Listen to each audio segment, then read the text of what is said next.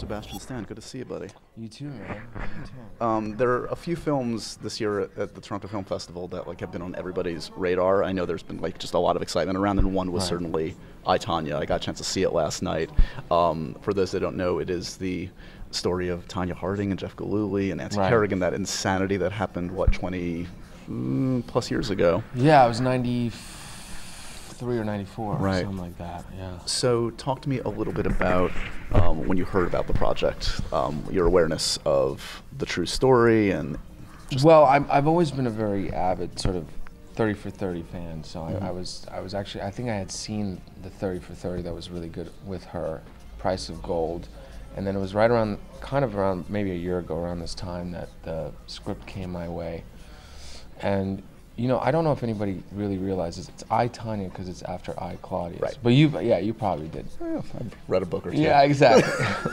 but um, it made you know it was so so from the title you kind of There's a take like- on it. It's not a straight ahead. it's sort of it is and it, and and it was very funny and it was it was actually really funny to me. I, I just the fact that it was you know a true story was kind of bizarre and and, and sort of um, you know it had it had all these layers to it, but. Um, And when you get the script and you see written by uh, Steven Rogers, or you're like, oh, this is meant to be. Obviously, I know what you're thinking, but like I'm like it's so because I've seen fans talk about that. And I'm like I can't escape it. I'm either playing a character named Chris, Right. or or there's or it's something written by Steven Rogers. You're not Um, asking your agents like, find me the next great script by Nick Fury. I'm sure he's got something in the hopper. Yeah, exactly. I wouldn't be, uh, you know, I should just use that as an alias or something. You that should. When you check at the not work. hotels, yeah. Um, but yeah, very strange. So talk to me a little bit about. Um, I mean, the two lead performances are uh, exceptionally yours and, and Margot's, and truly trans- transformational. We've never seen you as this kind of guy before. Um, Right. Jeff has quite a look. You Yeah. could say, in terms of wardrobe, in terms of facial hair. Yeah. Does that do like ninety percent of the job? Uh, it's, does that help you? Well, a bit? I'm telling. Have you had Have you had a mustache? have you No, ever worn a no, no. mustache? Only in- like for in 20, seconds, like in front of the mirror, and then I shave it off. A mustache in 2016, which is when I had it, was was definitely entertaining, to say the least. Like when you go to Whole Foods, and actually at Whole Foods you're kind of accepted because you know you're like there buying organic food. uh, But anyway, um, He passes a hipster a little bit. or- yeah, exactly. yeah. Like I was like, do I start dressing? You know, do I try to make it work for myself? but we were kind of trying to bring it back. Actually, the the real Jeff emailed me a picture of myself that I had posted on um, Instagram, and he was like, you know what, you may you may actually make the Gillooly stash look cool or something. So I was like, all right, if I got his approval, then I'm then I'm good. What, know? did friends and family make of it? Did it affect your personal life? Walking around for months with that kind of. Yeah, stash? well, yeah, it was an isolating experience. It was an isolating time in my life. Um, but uh, yeah, eh, I don't know. I mean, I, that's kind of the beauty of what we do is, is, you know, I think anytime you have an opportunity to physically do something to alter Yeah. your look or your persona, it just it helps you know break the barrier of how you see yourself. I mean, you wake up in the mirror and you got to look at yourself, right? So Yeah. it just changes everything. And I, I, don't even know if a lot of people realize, but it was the contacts I was wearing because he's got dark eyes. That that really kind of did it for me. It was really Right. weird to have you know change your eye color. I don't know if you've. I've never it, done that. Yeah, you yeah. on a typical Friday night. I'm gonna try green Just out today. there in Lower East Village, Manhattan. Um, but yeah, try and see what happens. Thanks, thanks for the rep. Um, so, I mean, it, it, it's been impressive to me to see the kind of the way you've steered your career, especially in the wake of like the crazy opportunity that, that's been the Marvel movies. Because, I mean, I'm sure you, I don't know if you had concerns or not. I mean, all these actors did when that you sign on for a role like that, whether it's going to limit you. If anything, I feel like it's it's enabled you to choose quirkier, odder, interest, It- more interesting projects it- like this. No, 100%. It absolutely changed my life. I mean, there's no doubt about it. I tell Kev- Kevin Feige that every time I see him. I mean, I just, I wouldn't have had these, the opportunities Yeah. uh, had it not been for Marvel. So there's always, uh, you know, a real soft spot. And I mean, it just, it's like, I'm sure the Game of Thrones people are all over this, but you're, you're spending years together. You're growing Right. older together. You're experiencing things together. And so there's a nostalgic element to it also. And, and it's also sometimes scary because you don't know what your future there might be Right. from time to time. But um, yeah, it's been a it's been a very gratifying thing to come back to. Yeah. And and of course you, you you do your best to sort of find something that kind of pushes you in a different way in between and so sort of this was a good vehicle for that. Did you feel like kind of like you're out on a limb when you're on set for something like this, or do you kind of feel like I mean, what Allison does in the film is amazing. What Margot does, like everybody's kind of going for it. You have to kind of go to the extreme for these kind of characters. Yeah, but the thing is, you know, we laughed. We we laughed so much on set. I mean, it was there was the the scene at the diner with Allison was particularly hard. Some of it was improvised, and she was improvising it. And there's genuine reactions. I mean, that we're having that ended up on screen, and Right. that's sort of like the magic that you kind of hope for. Um, and then there were times with with Margot where we were sort of looking at each other, going like, "Hey, are you okay? Like, did, Mhm. you didn't." You know, I didn't really hit you, right? I mean, we didn't Right. you know, we're and then she's like, no, we're very, you know, let's do this, let's go for it. I think I think you need to have a major level of trust. with- Yeah. especially when you're working on something that's pushing you in this this kind of way. I mean, you reference like the relationship is tumultuous to say the least, and like it, it- and it, it's an interesting film. That's interesting balance to achieve for a film that is very comedic. That Right. like it's it's an abusive relationship, and Jeff does some pretty despicable things. But throughout. you know, but the thing is, if you gotta remember, like, um, we've seen this kind of thing a lot. I mean, um, somebody actually referred to it last night to me. They're like, oh, you know, they're just Sid and Nancy. Or there's that great documentary. I can't believe they haven't made a movie of it yet. The, the Crazy Love. You Oh, know, yeah, about yeah, the guy that, that, threw acid in her Yeah, yeah, face yeah. and she got blind, Yep. and then they ended up together.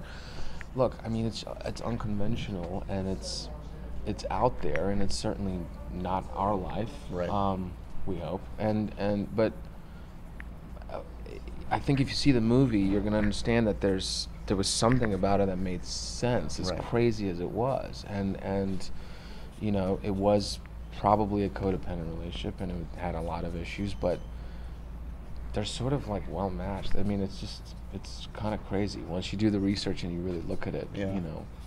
You, you mentioned correspondence with Jeff. Was that something that early on you you made contact with him? I mean, I had to. Yeah. I, well, Steven uh, Rogers, our, the screenwriter, had contact with him, and he had a few hours of interview that he had him on tape for, and that was really helpful because I could I couldn't really, with the exception of like three little things on YouTube, I, I couldn't really find a lot of footage of, of Right. him, and and there's not a lot of interviews of him talking about what happened. There are out there if you really look for them, but you know, except for Steven had this one-on-one, and I listened to that over and over again. I listened to it over and over again, and then finally, uh, I was like, "Listen, I'm going to call him. I feel like I should Right. meet him because um, you just, I think, you know, if you're playing someone that lived or existed, I, I, regardless of the situation, you gotta, At least try. yeah, you, Yeah. you have to know because you feel that responsibility Sure. for them. Um, so, so yeah, we went, we sat down, and um, it The was. biggest takeaway was there one helpful thing about just watching him Oh, or hearing yeah, from him? Yeah, no, multiple things. I mean, multiple things. I think, you know, nothing's ever really what you think. I, that's just one. You know, you read a lot of stuff. You see, you see things online. You know, you see pictures, you see videos, and and, and you know how it is. It's people are never exactly the way you think. I mean, uh, you know, when they when the, in the moment when they feel comfortable and they reveal themselves to you, like like all of us, I think, in our comfortable environments, there's another piece there, you know, that's honest, and we don't. And so, yeah, I I felt like I got to know him a little bit, and um, you know, that was the least I could do. uh, But I, but it was that was my job. Um, you mentioned when you sat down, you've been spending a lot of time in Atlanta. So how's it been Yeah. going? Um, obviously, two films back to back that Right. are most ambitious, probably films maybe ever made. Who knows? At least, um, has it felt like a different kind of a, a thing? I mean, Civil War, the films you've done have been epic in nature, but does this feel like a whole different level? Yeah, I mean, I think um, it certainly is the biggest culmination of anything and everything that they've done so far. I mean, I, I you know, it, it, it's it's just going to be bigger and crazier than anything. I mean, the footage that that I saw at uh, the Disney D23 was just mind blowing. Um, Apparently, I, I didn't get a chance to see it, but there's some stuff of you and Black Panther in there. Is it fun to kind of mix it up with some new characters? Like yeah, well, that was the, that was the feeling on set. I mean, you get to set, and you know, it's like, you know, there's like Hemsworth is just walking around, and then and then there's you know, I guess that's the Doctor Strange cape, and you know, someone's like carrying Rocket Raccoon. It- It's just all these people that you've seen in different movies, and I think that was my biggest question was kind of how does everyone interact with each other? It's like my guy is just. St- you know, figuring out as usual, figuring out where he, where he's at, and then next thing you know, there's like a talking. Raccoon in there. Yeah, so you're like, wait a minute. I thought I had so- it figured out. Now it got a little more complicated. but that's you know one of the things that I think the Russos um, and the writers, uh, obviously uh, Christopher uh, McFeely, and, and, and it's just they um, they've done so well. It's just find that tone and that that balance between right. Humor and at the same time keeping you engaged and and not sacrificing any of the characters' true sort of identities. You know, Yeah. because everybody's sort of in. If you think about it, every movie has its own thing. Sure. But in this one, they all kind of have to come together. So. Have you read the full scripts for both of the films? No, no, I, I no, I only read, I only read. Who gets to read the entire script? Downey does probably. That jerk. I'm sure. Uh, I don't know. I mean, I I only read uh, the little, you know, whatever they gave me on the day. I mean, it's usually like a day-to-day thing. I, I certainly don't know what I have to do next, but Really? So it's like literally like the day or the day before. You don't know like a week or two ahead of time what you're doing. Yeah, no, not really. No, no. And it's, uh, but look, I think there's a tremendous amount of trust there, and also they, I mean, especially with the Russos, I feel like we kind of grew together. I mean, that was definitely the case for me since Sure. they came in the last two movies, and so I feel like they can kind of guess my next move, and I can almost sort of guess like a little bit of the next move with them, Yeah. and so it's not like I'm going to turn up on the day and not know what the hell I'm doing, you know. Yeah. Um, that's one of the good things about kind of working with the same people over and over again. A- And without revealing anything, because I know we've got a long way to go, are you surprised, excited by sort of like the arc for Bucky and for for Cap? I mean, it seems like you know a lot of people like me and conjecture is that like at some point that shield is gonna maybe change hands. It's it's just speculation, man. I mean, there's no. If I was a betting man, should I put my money on, on you holding that shield at some point? I honestly have no idea. Like, I, I really don't know what I would say to somebody uh, who would ask me that question. Like, I, I did. I just asked you. But I know, but your money is still, you know, I, I don't know if, I, I, I, I don't know. I, um, If you did you know, know, would you say I don't know? we just, we just gotta all survive this war, first of all, and uh, sometimes it's questionable, you know. And what's coming up after? I, I feel a lot like that Jon Snow character, you know, like, Jon, you remember Battle Sebastian of the Bastards. Stan knows nothing. Battle of the Bastards, first of all, was the be- one of the best episodes. I've never watched Game of Oh my God, what are you talking? Can we still go back to the? Can, How are you making it this far? I know. Would you watch it again with me? Like no, start from the I would love to, but you have to have interviewed them, right? I Yeah, mean, you've and it's embarrassing and it's horrible.